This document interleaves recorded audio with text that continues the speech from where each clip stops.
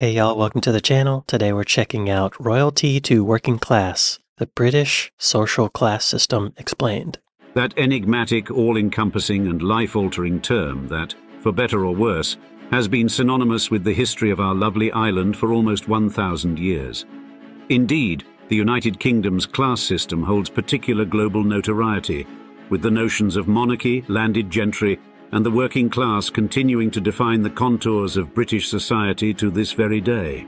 George Orwell himself noted this dynamic in 1941, calling Britain quite simply the most class-ridden society under the sun. Wow. Now, of course, all of this is not to say that other countries do not have a social class hierarchy. Far from it. Most countries possess a complex system of status or hereditary caste. However, while many advanced nations have proactively, whether through legislation or all-out war, attempted to collapse their historical class system, the United Kingdom has held tightly to this structural archetype. That's interesting. I think in America, it's mostly based on money.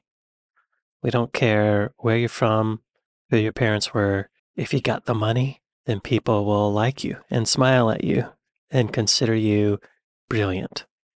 If you don't have the money, people automatically think you're dumb or lazy. We don't really have this social structure in the same sense. It's more individualized. At the same time, there is a little hint of that, you know. I don't think it's as rigid. As Helmut Schmidt, the then Chancellor of West Germany, put it in 1975, if one asks oneself what are the true reasons for the differentiated development of societies and economies between the British and most ones on the European continent, I think it has something to do with the fact that British society, much more than the Scandinavian, German, Austrian and Dutch societies, is characterized by class struggle. This is true for both sides of the upper class as well as for the working classes. Hmm. Yet, the presence of this persistent hierarchy does not make the British social structure entirely transparent. With nuance abound and the so-called unwritten rules of the class system in Britain confounding many across the globe. Thus, in today's Oh. video at Old Money Luxury, we'll lift the curtain on the Western world's most famous system of social class, guiding you first through the history of how each stratum developed, and then providing you with a template of how social class in the United Kingdom exists as it stands today. But first, we must turn back the clock a bit to learn where the first lines of social demarcation on Albion were formed. I've been watching a lot of videos about British culture, and I have learned that there's an overall lack of hopefulness for upward mobility in someone's social class. Wow, this is going all the way back to William the Conqueror. That was a long time ago, right? William the Conqueror's guide To fully comprehend the intricacies of the British class system, we must revisit the pivotal Norman conquest of 1066. During this Mm. defining moment, William the Conqueror led his Normans to triumph at Hastings. This decisive win began a slow and gradual takeover of the area, not without fierce Saxon resistance, giving rise to years of guerrilla warfare. In due time, the relentless Normans secured control over England, granting lands to loyal knights, who evolved into the ruling class. This newly formed elite, driven by territorial gains, constructed grand cathedrals and castles that can still be seen today, including Canterbury Cathedral, Durham Cathedral, the Tower of London, and even the structure from which our royal family gets its current name, Windsor Castle. Now, it's from this Norman gentry that our first current stratum of modern British society is derived. You see, even in the 21st century, aristocratic families like the Percys and Grosvenors, tied to vast estates across the country, have roots reaching back to the Norman conquerors. But more on that later. Let's get back to our history. The Saxons, in contrast to the Normans, were reduced to a lower status, grappling with an almost apartheid existence. Yet the acute division began to blur as the Normans, more enticed by land than lineage, married Saxon women. These unions hmm. began a fusion of Norman and Saxon traditions, progressively erasing the lines between them, laying the groundwork for a ruling class. Across centuries, the once clear distinctions between Normans and Saxons gradually faded through mingling and marriage. The Normans, hmm. symbolized by the Plantagenet flower, continued ruling over lands and castles filled with Saxon peasants. This merger, evolving over hundreds of years, led the growing nation from sheer inequality to a more harmonious society, imprinting a unique mark on England's social structure. In the Norman conquest's wake, English society was tightly defined, with Normans as aristocrats and Saxons as peasants. But within this distinction, a hybrid group emerged, acting both as peasants and professionals. From these original hierarchical relationships lies the core of the English class system, enduring with minor tweaks, continually shaping the English social order. Indeed, that legacy continues to define the nation's cultural fabric, even today. So the Normans came over from what is now France, took over England, themselves the rulers, as one would, and they started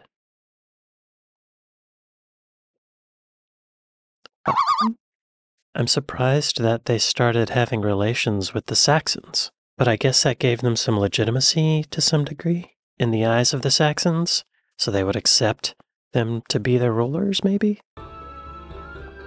Now, The the. Black Death of the 14th century served as a remarkable pivot, reforming England's social structure and significantly altering the country's demographic makeup. This pestilence obliterated around half the population, leaving Wow. indelible imprints on the social hierarchy. That'll do it. And unexpectedly, it led to a linguistic shift.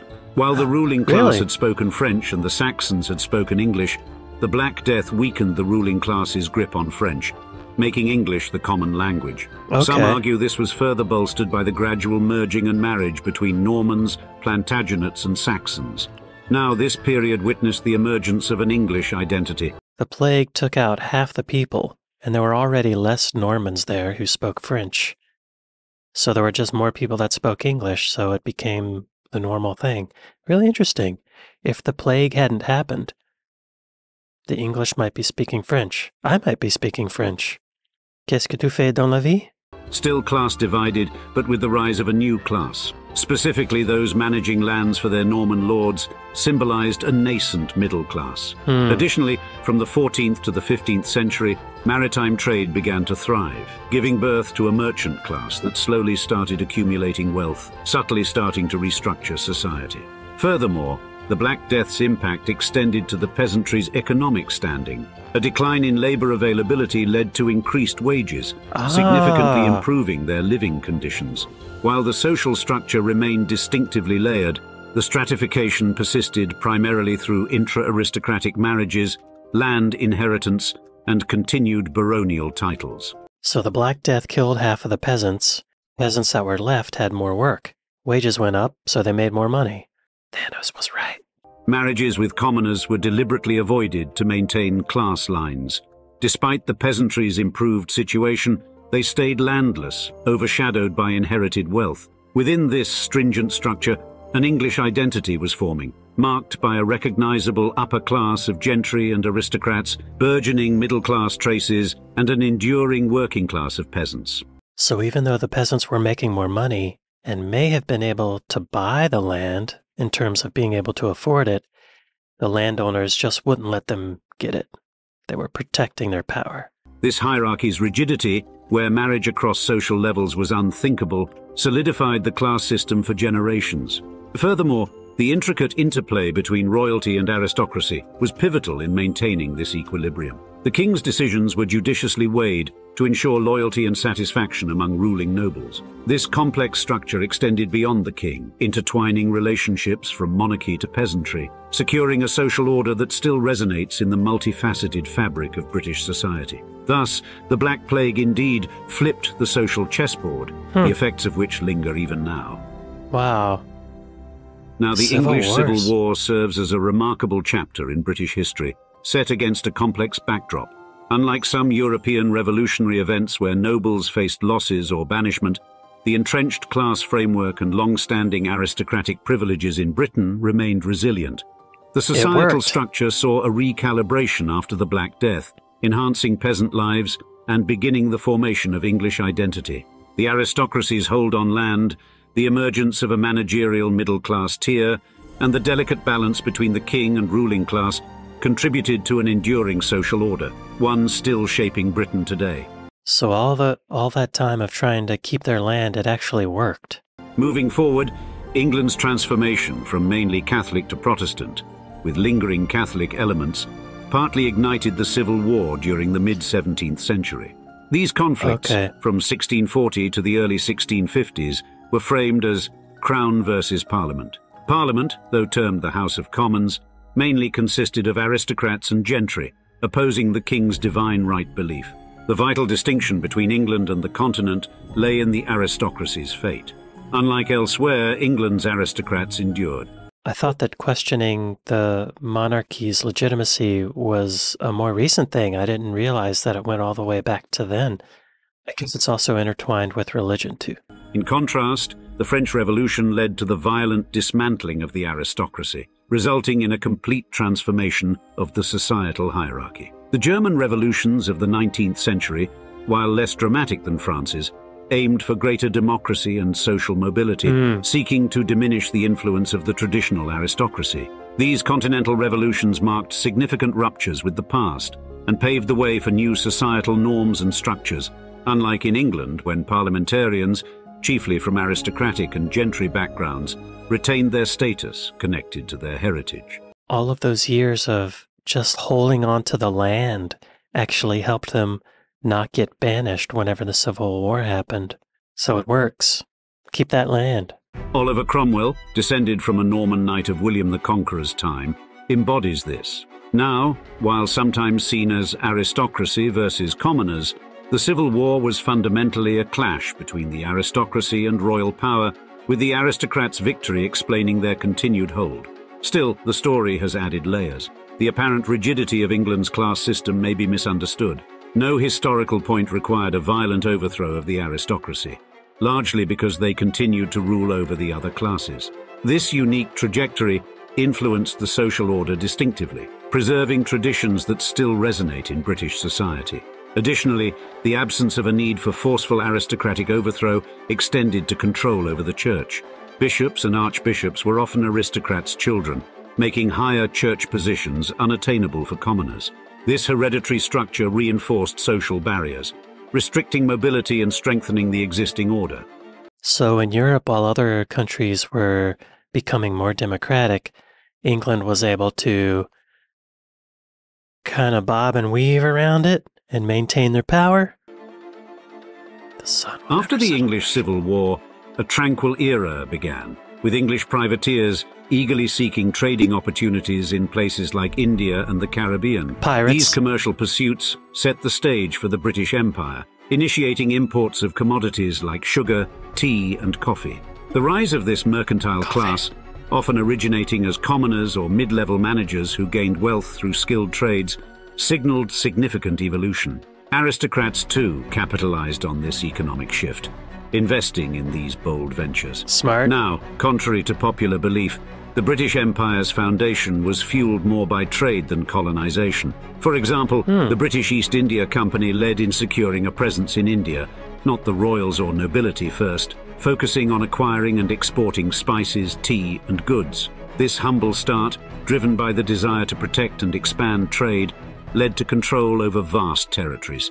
Thus, Britain's empire was essentially commercial. Its island geography and naval superiority allowed the Royal Navy to protect vital sea routes from South America to the Caribbean, India and Africa. This economic and military growth bolstered Britain's global influence, but sparked conflicts with other European powers, especially the Spanish, French and Dutch. Intriguingly, the Portuguese remained friendly, an exception in hmm. Europe where territorial and resource battles often sparked aggression. A century of wars between Britain, Spain, France and the Dutch laid groundwork for global conflict. The intense English-French rivalry, with Britain winning through better fundraising, led to financial Britain, including the City of London, primarily financing the navy, conquering lands and creating trade routes. Again, here we see coming to the fore a benchmark for the growth of a societal stratum present in modern Britain's social class structure. Now, simultaneously, the Industrial Revolution was taking shape in England's Midlands, with innovators like Quakers leading changes in iron and steel. This era marked Britain's golden age as national wealth grew, benefiting not only aristocrats, but also a rising middle class of merchants, financiers and bankers. Unlike traditional aristocrats, this middle class's wealth was industrial and commercial not landed. Their rise didn't mm. lead to hmm. revolution.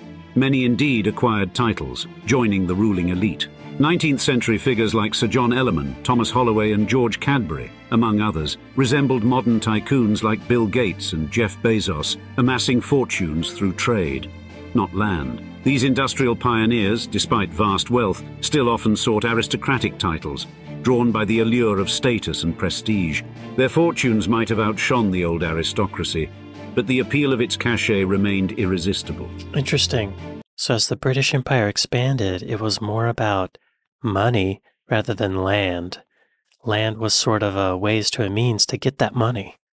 And then, as the Industrial Revolution started developing, these middle class people started acquiring more and more wealth.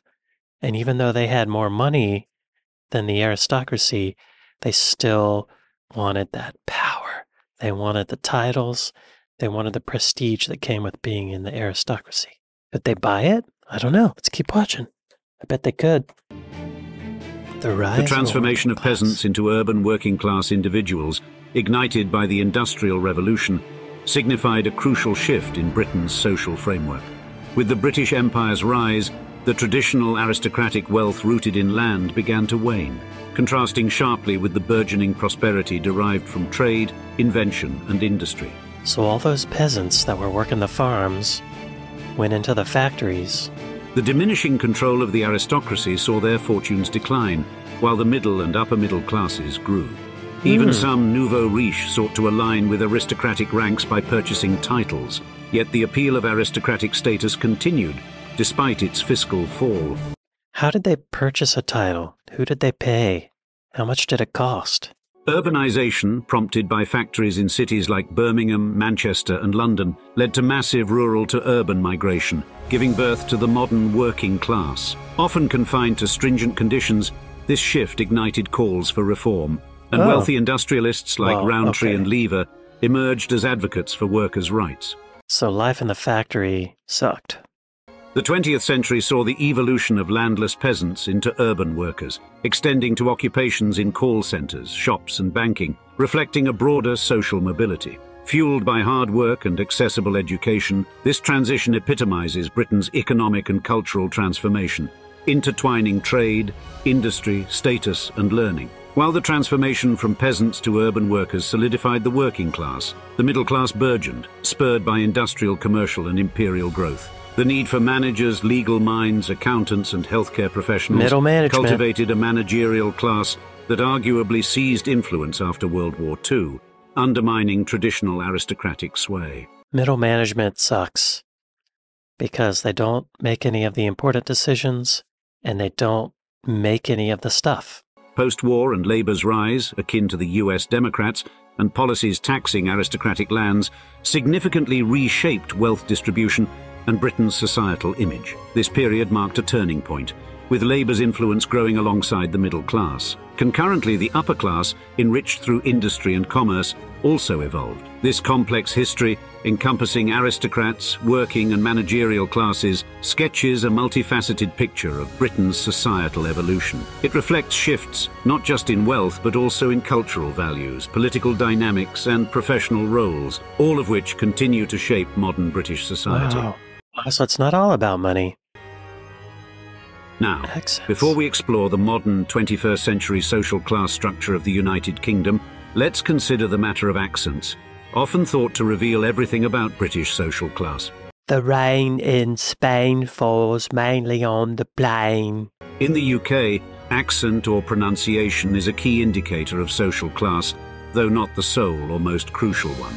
However, it is indeed true that speech is often the first overtly noticeable class indicator. Hmm. Working class individuals might have stronger regional accents, such as London's glottal stop, prominent in Guy Ritchie's gangster films, or the distinct accents of Liverpudlians or Mancunians, as heard in actor Stephen Graham or the band Oasis, respectively. Middle-class individuals, ranging from lower to upper middle class, may exhibit regional accents, but these are typically more moderate, while upper middle-class individuals often aim for a more neutral British tone. Upper-class voices, especially those cultivated in elite schools like Eton, may result in a slightly plummy tone, exemplified by conservative commentator Douglas Murray. Remaining aristocrats, mostly educated at the top schools, speak in the original distinctive plummy English, often identifying members of the aristocracy or gentry or those aspiring to these ranks.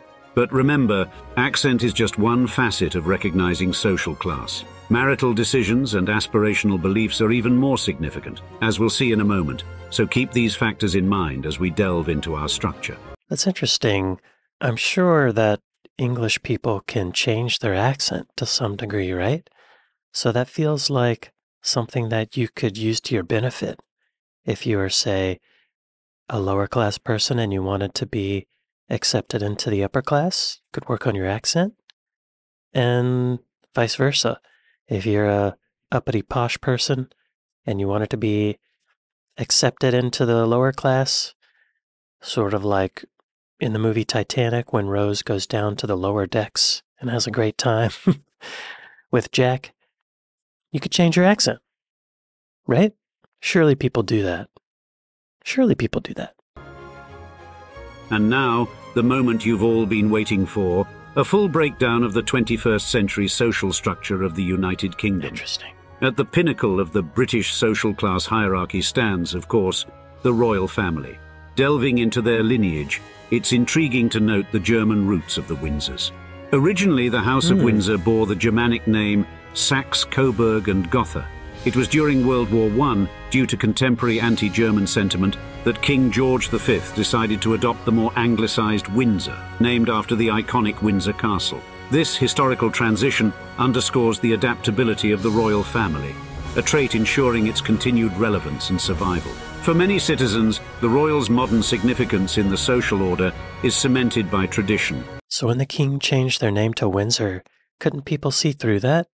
Was it common knowledge that that was the reason that he was doing that? I feel like people would call bullshit. is cemented by tradition and the feeling of being the head of the body of a nation. With this, the social expectations of the royals include being above the fray of petty cultural and political squabbles, exemplifying the highest decorum and class, and maintaining the keep calm and carry on attitude that our nation ideally embodies. Mm. Additionally, they are stewards of vast estates, with royal palaces and crown lands under their purview, establishing the royal crown as Britain's paramount landowner. And while they are beneficiaries of state funding, which supports their regal lifestyles, their roles aren't solely ceremonial. A hallmark of the monarchy is its commitment to public service and representing the nation on the world stage. This ethos is exemplified in King Charles III's naval tenure, his sons Prince William and Prince Harry's military careers, and the charitable endeavours of many other royals, weaving a tapestry of duty and tradition. Do they need all those palaces? They could turn some into museums, right? Surely they do that, right? Surely. Next, we have the aristocracy. While their wealth and influence have diminished, they remain a significant presence in British society, reportedly owning an astonishing 20% of the country's land.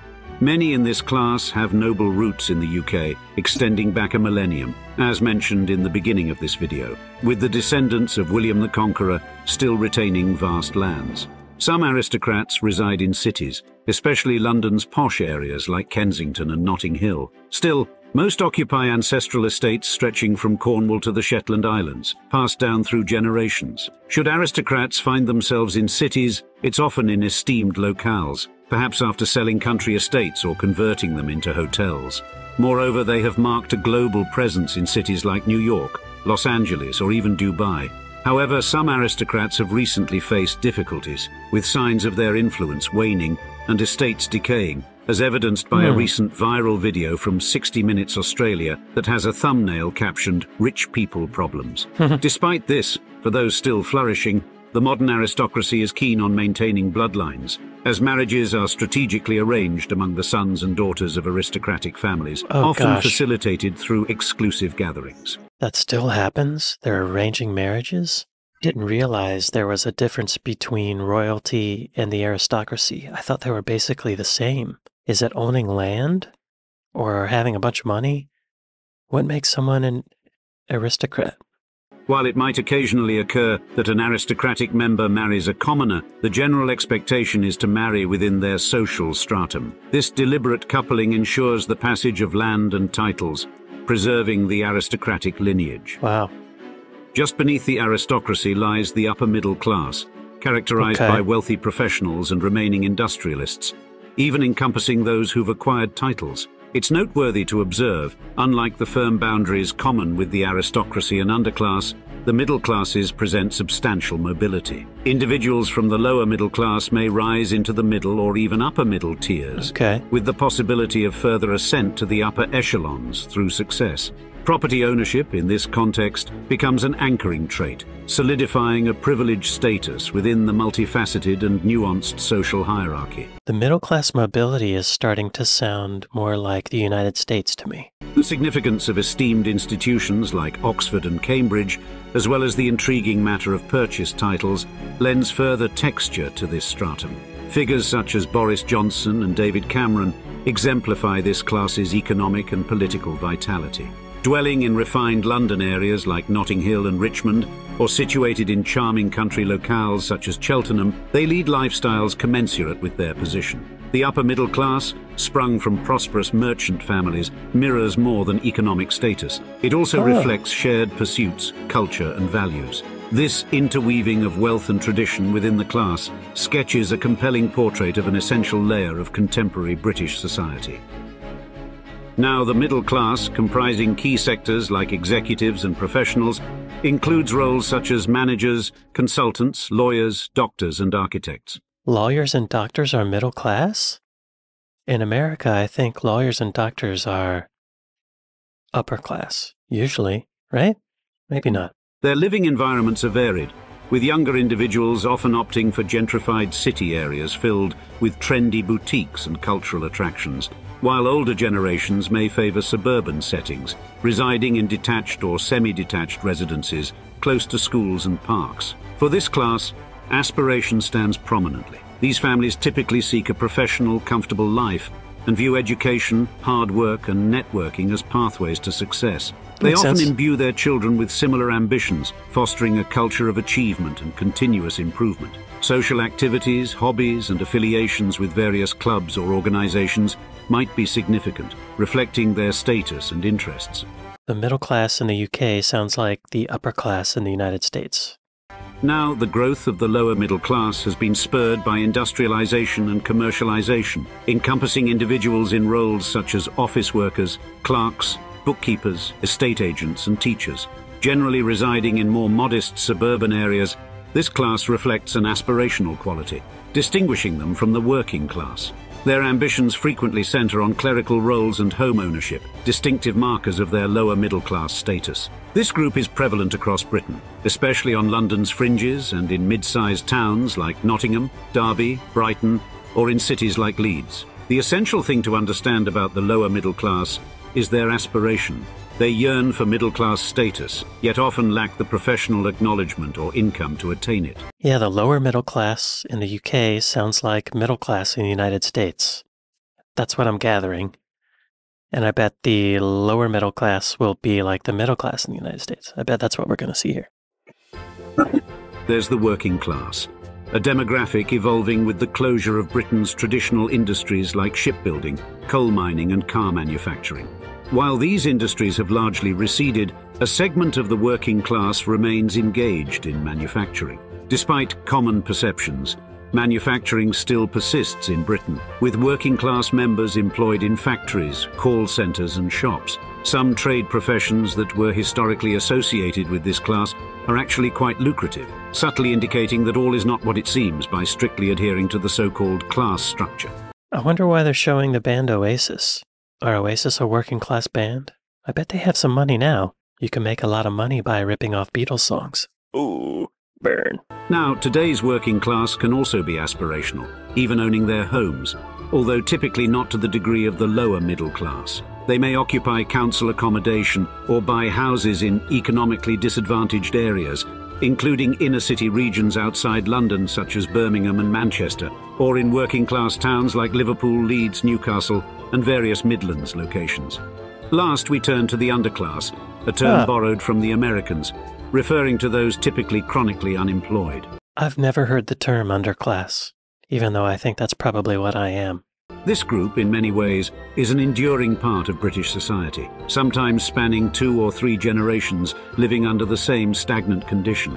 Predominantly hmm. residing on council estates, akin to American projects, The underclass survives through state benefits or welfare, often supplemented by petty crime. This segment of the population, often found in large cities like London, Manchester and Glasgow, is marked by a likely persistence in their current economic and social position throughout their lives. Okay, I take that back. I don't think I'm underclass. I would probably be working class. Because I don't live in a tent. And I have a job, sorta. Their presence, though not extensive, is notably marked in many inner city areas, symbolized by large tower blocks, which are seen as the characteristic dwelling places of the underclass. Of course, no discussion on the social structure of the United Kingdom would be complete without a few points on immigration. The Irish have historically been the most prominent immigrant group in the United Kingdom. They put immigration below underclass? Or maybe it's just an annex or a side note, I'm hoping. This migration began continuously from Ireland to Britain and escalated sharply in the 19th century due to the ravages of the Great Famine and the job opportunities created by the Industrial Revolution. A notable illustration of this heritage is the Beatles, who primarily have Irish ancestry. John Oh. Lennon's songwriting, including pieces like The Luck of the Irish, and Paul McCartney's maternal lineage, with his grandfather Joseph McCartney born in County Monaghan, Ireland in 1876, Oh, wow. highlight this connection. Approximately hmm. 6 million people in the UK, or around 10% of the population, have at least one Irish grandparent. Though the Irish-born population in England and Wales has diminished recently, their cultural impact endures. Now, from the mid-20th century onward, immigration from outside of Europe has begun to significantly reshape Britain's class structure. Starting slowly and then increasing exponentially since the 1990s, immigrants have arrived primarily from the Asian subcontinent, sub-Saharan Africa and the Middle East. These immigrants initially found employment in traditional working class roles, like retail or the restaurant industry. However, over time, increasingly large numbers of immigrants and their descendants have ascended to nearly every level of the social hierarchy Good for them. most notably the Prime Minister himself, Rishi Sunak. The framework of class in Britain, therefore, extends beyond mere accent or financial status. It involves a delicate balance of aspiration, breeding, marriage, education, and inheritance. The interplay of these factors forms a multifaceted picture of social strata, reflecting both rigid barriers and potential pathways for mobility. Well, it does seem like a pretty rigid structure, but it also seems like over time the rigidity is weakening and there might be more mobility between social class. It seems like if you have enough money, you could get to the top. Maybe not royalty, but you could marry into royalty. Maybe? So, whenever you meet someone new in the UK, do you talk about these social class attributes to try to figure out what social class someone's in? This video does pull together some concepts for me in terms of how British people see each other. I guess I never really thought about the social structure there. I thought of the royalty and then everybody else below them. I didn't realize there was so much stuff in between. It's fascinating how it can be traced back all the way to 1066, the Battle of Hastings, and the Normans taking over. The Black Death had a big influence. Anyway, really interesting video. Thank you all for recommending. Thank you all for watching, and I'll see you next time. Later.